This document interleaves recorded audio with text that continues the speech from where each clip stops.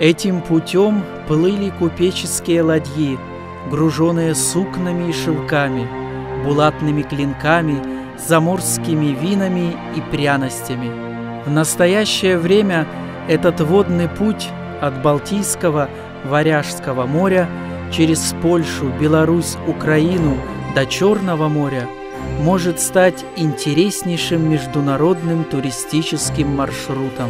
Часть этого маршрута – от реки Западный Буг до Королевского и Днепровско-Бугского каналов проходит по Жабинковскому району и освоен государственным учреждением образования Жабинковский районный центр туризма и краеведения для детей и молодежи.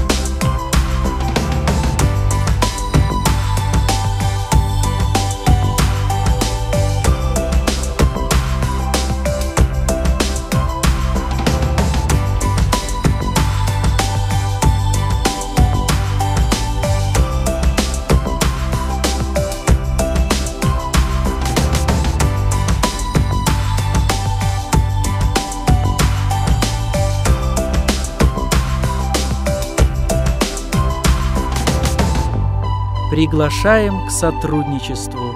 Путешествуйте с нами!